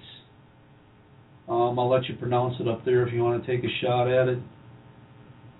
Um, to take for oneself, that is prefer. So actually, when you're in a her- her- heretical position or uh, walking in that type of manner, um, you actually prefer yourself. You're putting yourself above that, preferring yourself above everybody else. Some of the forms are borrowed from cognate, and they give a crazy history anyway. But it boils down to being causing a disunion. Second Peter two chapter one, no, Second Peter chapter two verse one and one through three.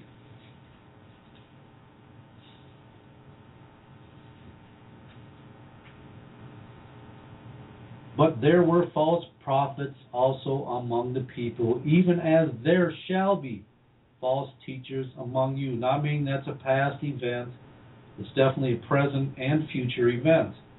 Who privily shall bring in damnable heresies, bring in disunity, even denying the master that bought them, and bring upon themselves swift destruction. Now, how do we label false prophets and false teachers among us? How are we able to identify the workings of these liars? There are few primary ways.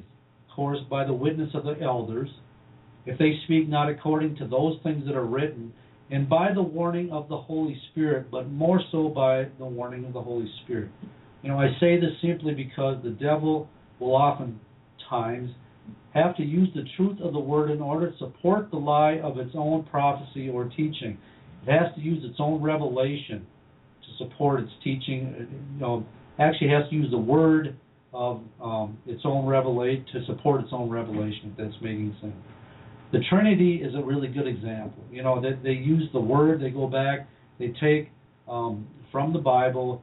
They can try to break it down and prove that um, the Trinity is. Um, uh, what in the world? Just the word just escaped me. I'm thinking monog. What is it? Uh, polytheistic. You know, it, it's three in one. God is three separate gods. No, he isn't. He's one. Mean, we just proved that. I did a blog, my last blog talk. I think I laid it out pretty clearly. Maybe not. Somebody let me know. But if if if the Messiah was another God, then actually Yah himself would actually be trespassing against his own command by letting another God come before us, if that makes sense. So no, they are one.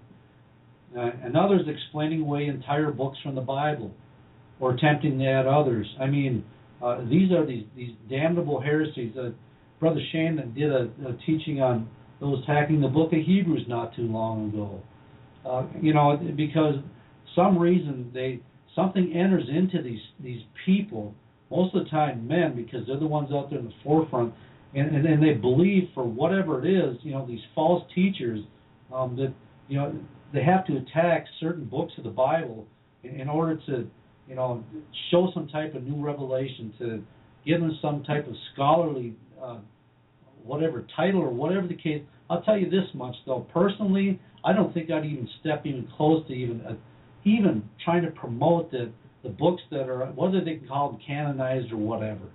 You know, the fact of the matter is, if they're there, I'm to leave them alone because, um, you know, uh, for whatever content they carry, either spiritual, historical, or whatever, they're there. And to actually um, make yourself a judge and say this one doesn't belong, you think about the consequences for actually trying to convince people that that doesn't exist, it's not right, for whatever reason that you want to deem and come up with. And then you have to stand before the Messiah when he said, You don't take away or add anything, because you're going to get all the plagues and you're going to get hell on top of it.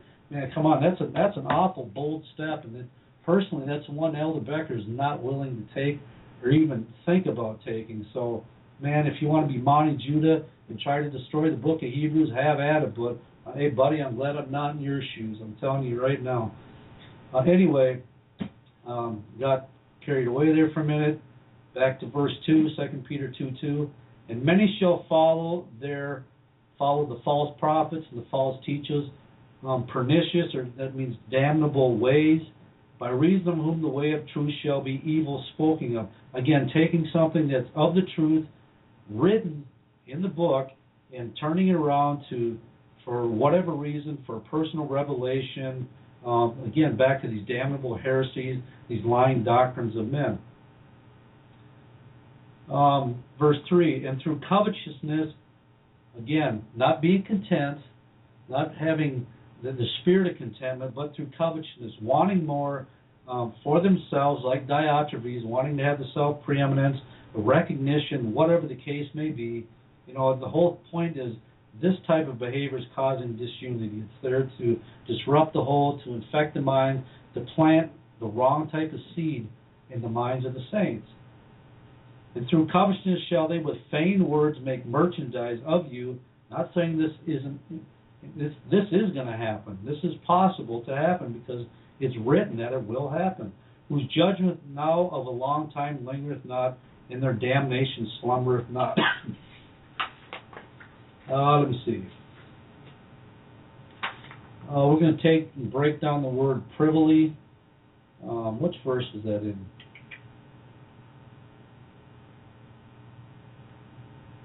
Oh, for Pete's sake.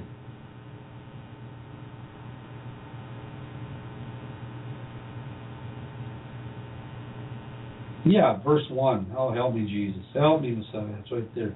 All right, the word privily, the Greek 3919.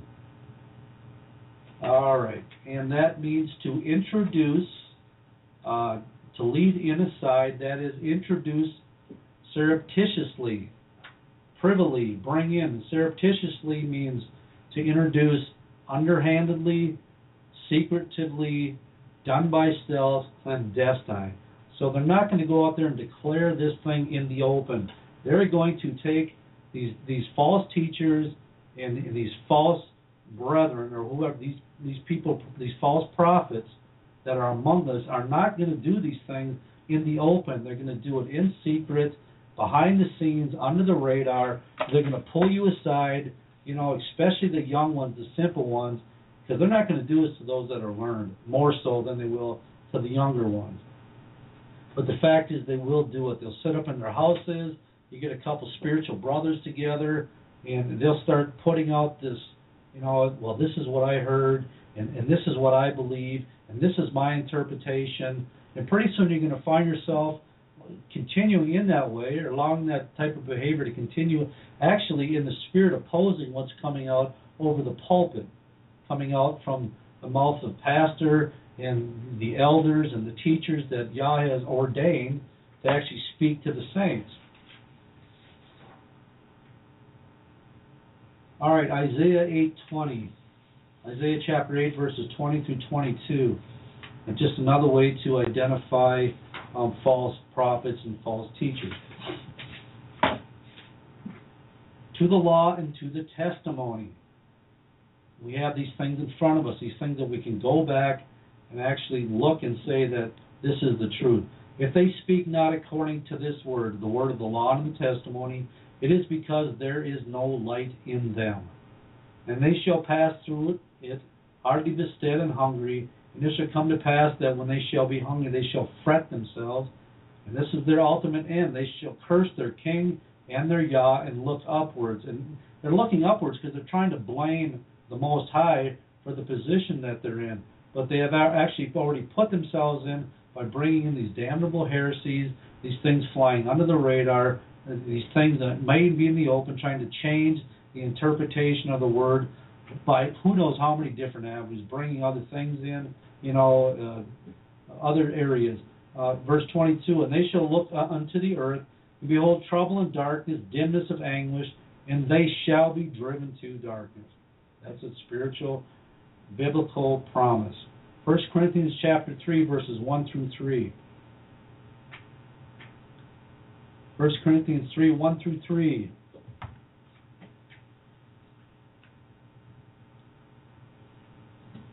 And I, brethren, could not speak unto you as unto spiritual. Why? Why couldn't Paul speak to them as unto spiritual? But as unto carnal, even as unto babes in Christ, with very little understanding, basic language, um, almost a secular type of speech. I have fed you with milk and not with meat, for hitherto you were not able to bear it. Neither yet now are you able for ye are yet carnal. Why is Paul telling them they are carnal yet? Why these young babes, um, they can't be fed with meat, they're still on milk. Why can't they come up? Why can't their spiritual understanding be greater? There's a reason. For whereas there is among you envying, now remember, these are all people of the body, these are all members of the assembly. For whereas there is among you envying and strife and divisions, what are what is the result of all these things? Are you not carnal and walk as men? See, that's what that's how men operate. That's why you had in the time of the Messiah you had the three sects, or you had the two sects. Some people say three. You had the Pharisees and the Sadducees. You, you had the Nazarenes. You had uh, you know the, the different sects in the Book of Acts. Why? Uh, is because that they were carnal. They couldn't agree with one another. They, they had their strife, their debate, their contentions and of course ultimately the divisions. I mean, you can look at it in the secular church world. In, in Christianity, there's you know the, the flavors, the, the different titles. You know, you got the First Baptist, Second Baptist. The I mean, the Baptist itself, you could run your mouth dry trying to pronounce all the different uh, churches out there. First missionary, the missionary of, you know, oh my God, yeah, they do need help. They need missionaries. I'm telling you, anyway. But this is a, a carnal mindset, introducing envying, strife, uh, and ultimately leading to division or disunity in the body. Acts chapter 15, verses 35 through 30, 39. And um, the reason I'm bringing this in because it's not only um, a product or something that can actually happen to the babes because their understanding isn't there and they need help, but it can also happen to um, those that are learned men. And we're going to see right here, Acts chapter 15, verses 35 to 39. And again, um, a lot of it results from uh, people's not being content or be satisfied with the situation or accept or, you know, they, they take their own personal stance, their own viewpoint, and try to inject it into something that's obviously fact and the truth. And they bring about a division. Paul also and Barnabas continued to Antioch, teaching and preaching the word of the Master with many others. So you have Paul and Barnabas here. They're in Antioch teaching. And some days after Paul, did I give you that chapter 15? Okay, thank you, Brother Verse 35 through 39. All right, anyway. And some days after Paul said unto Barnabas, Hey, come on, Barnabas, let us go again and visit our brethren in every city where we have preached the word of the Messiah and see how they do see how the seeds we planted affect them, how, how they're doing, how they're um, progressing on by you know the words we ministered to them. So you know these two have been traveling around for a little bit, and Barnabas determined to take with them John, whose surname was Mark. So obviously John, whose surname was Mark, who was in the city of Antioch. And Paul thought it not good to take with them. Why? Why did Paul dissent from wanting to take um, Mark with Paul and Barnabas. Because who departed from them from Pamphylia and went not up with them to the work. So, I mean, Paul's already basing on a, this man is already on broken unity, broken the accord. He was with them then, but he decided for whatever reason he had something better to do because Paul just got them saying, look, they were going teaching and preaching uh, the word of the Master, the word of the Messiah in all these different cities, and obviously that uh, Mark was with them for a while, but now he ended up in Antioch. And then, eh, come on, Barnabas wants to take him again, but hey, it, you know, Mark has already proved that he wasn't faithful in the work there. So Paul's like, no way, man. Uh, we already seen his pattern. He shouldn't have left us. We're all together. We're all unity. We're walking in agreement. We're trying to promote the kingdom of the Most High, um, to you know teach the Gentiles, to open up the understanding of the saints by the Spirit of Yah.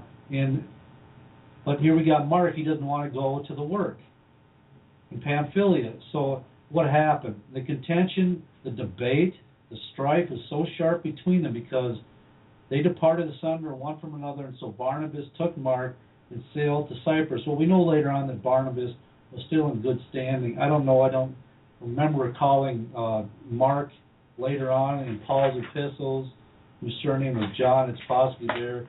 It just escapes me now. But the fact is, I know Barnabas was there. But you know, hopefully Barnabas finally figured out that it was a mistake. That um, and hey, I'm with Paul. You know, the, the brother wasn't willing to commit himself there. How can I trust that he's not going to bail again? You know, so hey, you know, Paul, I believe. Hey, I'm for Paul. You know, hey, go Paul. Hallelujah. Galatians chapter two, verses 11 through 15. I mean, come on, think going back to this. If anybody witnessed this, that they saw this argument, they may have seen uh, the result of Mark deciding to go ahead and bail. You know, what, what's that translating? They're doing a good thing here, and then uh, you know somebody goes ahead and throws a you know a, a monkey wrench into the whole thing. So no no wonder the contention was sharp. But the, the bottom line was it caused a division because somebody went carnal or something. Um, anyway, Galatians chapter 2, 11 through 15. Galatians 2, 11 through 15. But when Peter was come to Antioch, I withstood him to the face because he was to be blamed. Why was he to be blamed? Before that certain came from James, he did eat with the Gentiles. So what, there's some, somebody coming from James, some group of people, and Peter's in here eating with the Gentiles. But when they were come, James and those that were with him, he withdrew him and separated himself, talking about Peter, fearing them which were of the circumcision, or those that actually coming with James, those that were of the Hebrew Israelite heritage, already in the natural bloodline. And the other Jews or Yehudim dissembled likewise with him, with Peter, that were all sitting around, insomuch that Barnabas was also carried away with their dissimulation. Man, you got to ask Barnabas, boy, he has trouble in some of that area, don't he? Anyway, but when I saw that they walked not uprightly, this is Paul. I mean, he, he obviously seen that he's they're causing division because they have this fear working in them. According to the truth of the gospel, I said unto Peter before them all, Thou being a Yehudim, livest after the manner of the Gentiles, and not do as the Jews. Why compellest thou the Gentiles to live as the Jews? So if you're if you're, if you're telling the the Gentiles, you're telling these new converts, these babes, man, you need to do like you know the, the Hebrew fathers over here, the Hebrew natural Israelites, because they know the law of the Torah and then you're actually you know bailing on the ones you're ministering to. What kind of message does that send? Now it's going to cause these weak ones to fall away, who are by Jews by nature, not sinners of the Gentiles. All right, Second Corinthians chapter six. Um, verses 14 through 18. Man, I hope I make it through. I don't think I only slaughtered for two hours, so I'm being a little bit long-winded tonight. Hallelujah. So I might pick it up a little bit. Be ye not unequally yoked together with unbelievers. Why? There's a reason for it. There's a reason this is commanded. For what fellowship hath righteousness with unrighteousness? And what communion hath light with darkness? So Paul is asking a question. What concord hath Christ with Belial, or what part hath he that believeth was an infidel or an unbeliever? And what agreement hath the temple of Yah with idols? For ye are the temple of the living Yah. As Yah has said, I will dwell in them and walk in them, and I will be their Yah, and they shall be my people. Wherefore come out from among them, and be separate, saith the Master, and touch not the unclean, and I will receive you. Well, I want to go back and focus briefly on the word unequally yoked together because um, the wording is kind of, you know, kind of confusing a little bit. So at least it is to me. So I, you know, my own sake, I break these things down to get a better understanding. But why be yoked together at all? No yoke. No, there is no equality in between a believer and unbeliever. But the word of unequally yoked together, used in verse 14, appears somewhat out of context with the meaning behind the whole of Paul's admonishment. If we are not to be unequally yoked or tied to an unbeliever, then by implication we should be equally tied to the unbeliever, which of course we know not to be the case if you follow my line of thinking.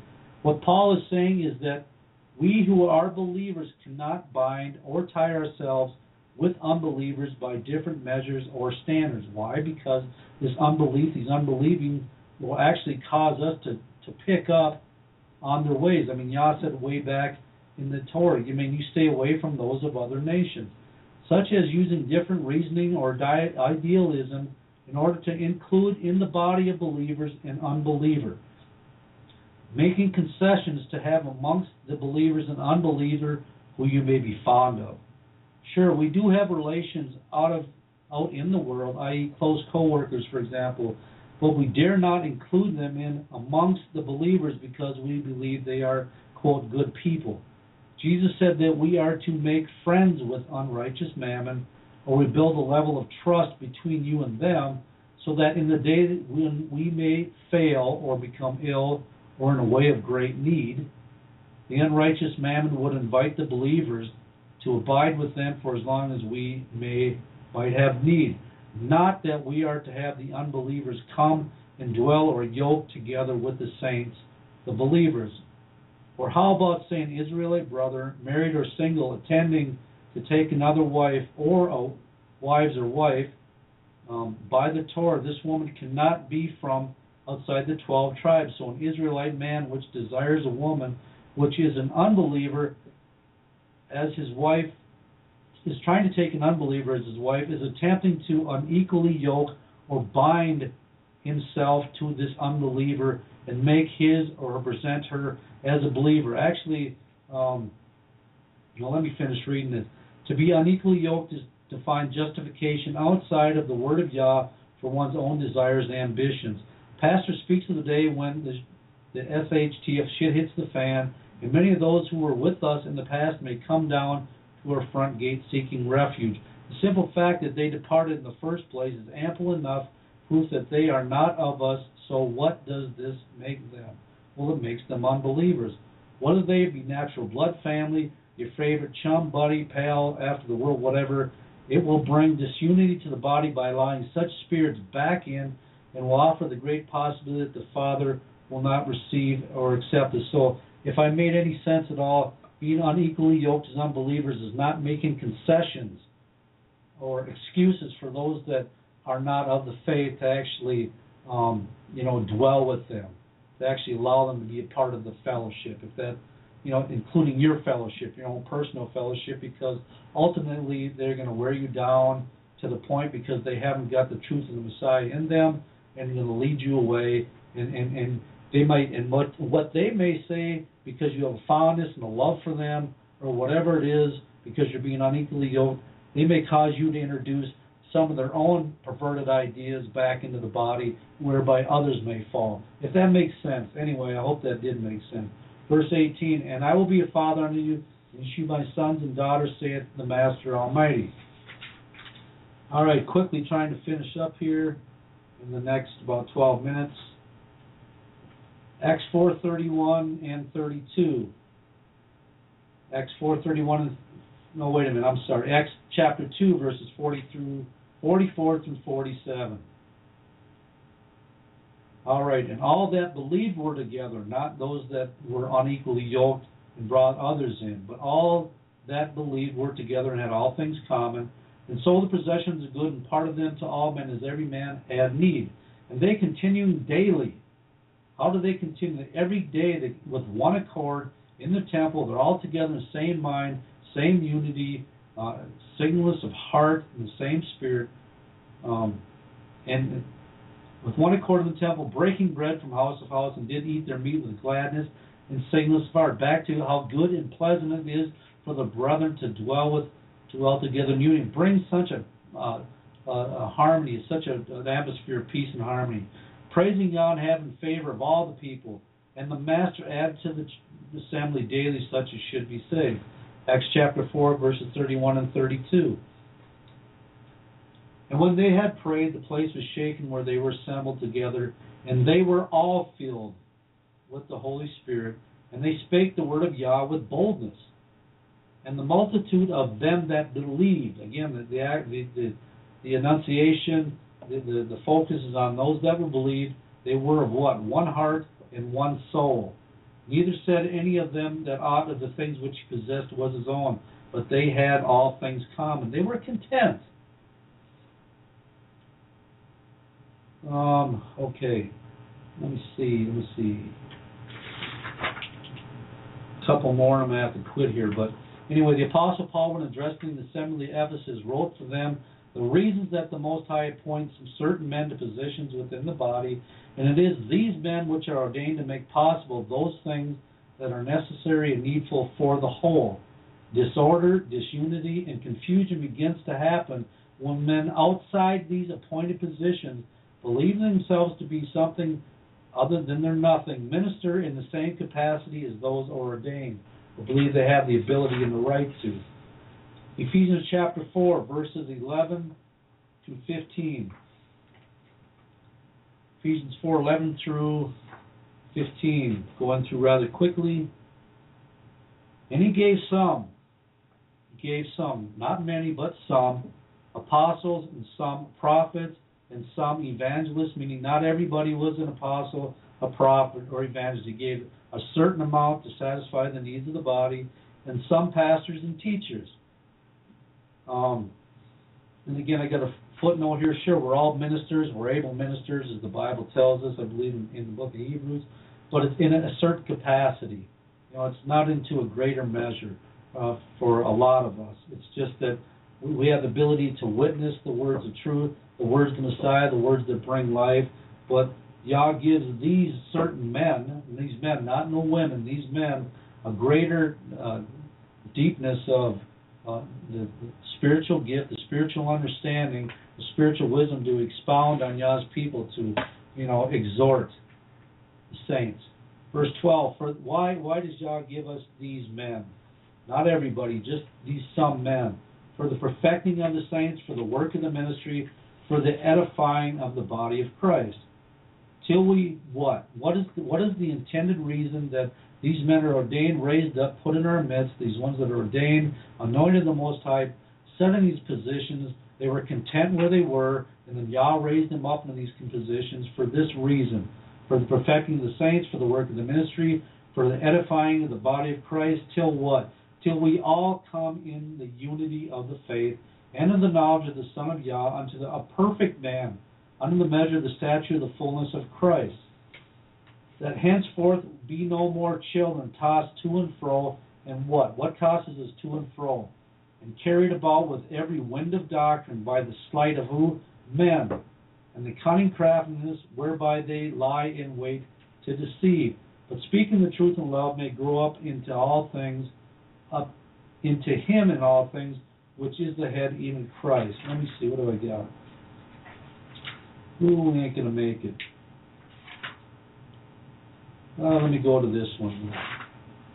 Ephesians chapter 4, verses 1 through 3. Ephesians 4, 1 through 3.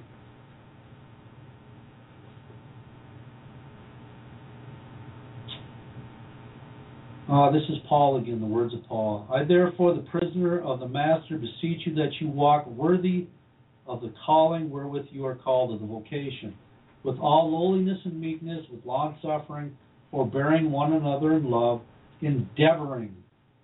Endeavoring, that is to make an effort, to be prompt, to be earnest, to be diligent, to keep the unity of the Spirit in the bond of peace by whatever measure, in the bond of the unity, the oneness, uni, uni, unanimity, is that how they say it? The unity um, uh, to keep it in in the spirit, in the bond of peace. Okay, I'm going to give you, if you got a pen and piece of paper, you can write these down, and this would, you know, the, the conclusion of the study, I kind of skipped to the end, but if I get a second. I think I'm going to try and get these in here quick, just a couple more. All right, to be in one, to, to be one in spirit, in the will of the Most High, we must hold the line about speaking only according to the word. Debate, disagreements, confusions are results from men seeking to speak their own words and revelations of what they deem to be the truth. Jesus said many times that he only spoke those things which were given him by the Father. The Messiah did not deviate from the rule, regardless of what he may have thought or seen. And as I was talking about that, the words of our own revelation, I think Paul, where did he talk about that? Um, it's in Corinthians. It slips my mind right now, but he, chapter 14, I think it is, where he talks about, you know, how is it that when every one of you come together, you you have a revelation and you have your own little, you know, your story, your word. I don't remember how the verse goes, but I do remember it says in there your own revelation, you know. And all this isn't not to the edification for the body. Stick to the word. Jesus said, John 15, 15, Henceforth I call you not servants, for the servant knoweth not what his master doeth, but I have called you friends. Why? For all things that I have heard of my Father I have made known unto you. Meaning Jesus just, uh, you know, saying again, he spoke the things that were given to him by the Father. He didn't come up with his own plan. All right, John chapter 8. I'm to have to end on this one because it's quite lengthy. John chapter 8, verses um, 25 through 28, and then 38 through 45. All right, verse 25. Then they said unto him, Who art thou? These are the, um, quote, the scribes, the Pharisees, the hypocrites, questioning the Messiah again. You know, who art you?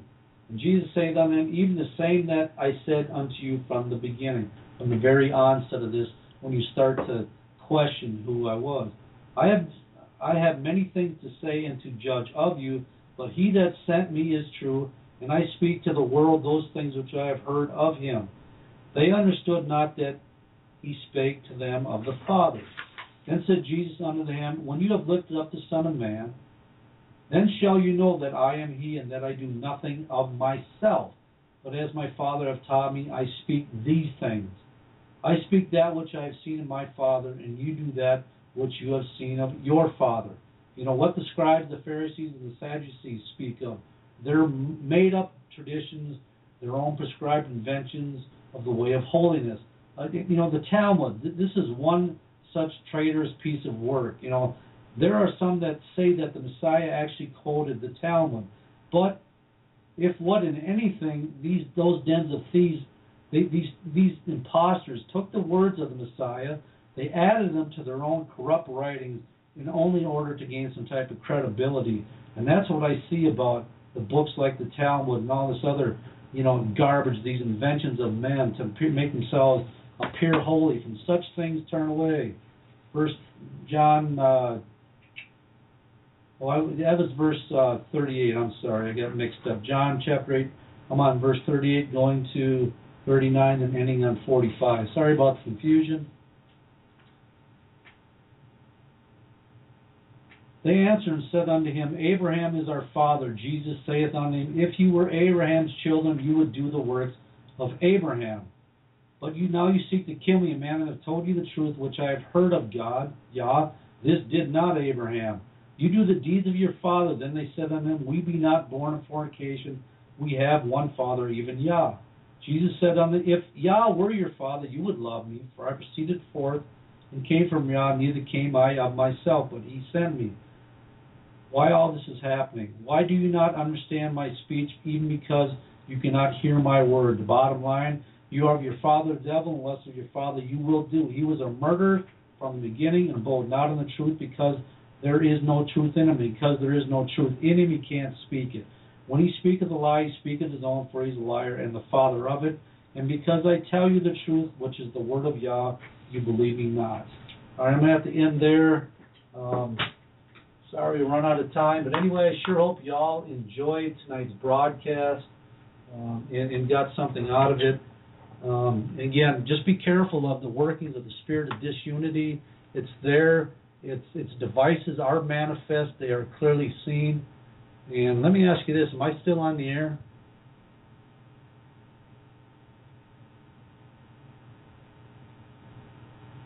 Oh, can y'all still hear me?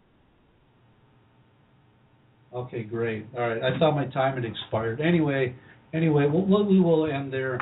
And uh, again, um, okay, appreciate it. I'm still on the air. Hallelujah.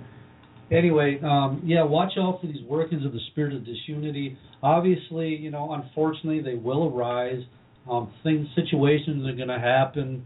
Um, you know, and uh, you know, we just have to deal with them. And unfortunately, um, you know, you, you can do yourself a big favor by, you know, when when this stuff arises, reprove it on the spot or deal with it if it looks like it's you know getting out of hand, whatever the case may be. But don't allow yourself to get caught up in a in a situation or circumstance where you might actually cause somebody else to, um, you know, enter in a state of debate or strife or cause them to be discontent or whatever the case may be. Because you know the devil, he's a, a formidable foe, an adversary, and he's obviously not going to waste any uh, any uh, you know any, any open door or anything that um, you know would offer the possibility of him to cause this disunity in the body. Um, and of course, you know, y'all keep uh, Pastor Corey continuing in prayer tonight. I don't know where they are, if they're still continuing, if they're hot in the middle of it. But anyway, you know, it's it's uh, keep him up in prayer regardless, because he is one of the shepherds in Israel. And of course, you know, the other pastors, and, and especially Pastor Dowell, um, you know, as, as he brings forth the word, and we've been getting fed a wonderful, wonderful meals of, you know, just the word that you know is it should be enlightening to the soul, should be deliverance and freedom from um, you know the the, uh, the oppression of the devil. Um, should actually be causing and bringing more unity into the body as we you know as as pastor and the elders and the teachers are um, you know bringing more of this to the light and uncovering more of these hidden works and re you know uh, revisiting some of the things in the past and just you know shedding more light on them. Um, anyway, y'all be blessed. Oh, hey, I gotta let you. I gotta let you in. I was meditating this morning before um, uh, before Sabbath service, and I came up with a pretty good. I thought it was pretty clever, but I usually don't share all these clever thoughts. But I thought this was pretty good, you know. But I've been I've been dealing with somebody on on one of the comment sections about you know that this person presents themselves as you know, of course, they they totally hate Yah, whatever the case may be, but you can feel that there's some type of homosexual spirit there. But anyway, I got this thought, you know, and, and there's this phrase that the homosexuals are coming out of the closet, the lesbians, the faggots, you know, the the bisexuals, all the immoral sexual practices are being open. But the fact of the matter is, is the only reason they're coming out of the closet because somebody opened the damn door. You know, that's all these people that, you know, the advocates, the voices for whether they're in the practice or not it's those that actually take pleasure in those that do such things are the ones that are actually turning the knob and opening up the door. So if these fools hadn't have done that, I think a lot of these devils would have still stayed in the closets. But hey, it's a personal revelation. I'm not trying to cause disunity. I just thought I'd share that. Anyway, hallelujah. All streams over.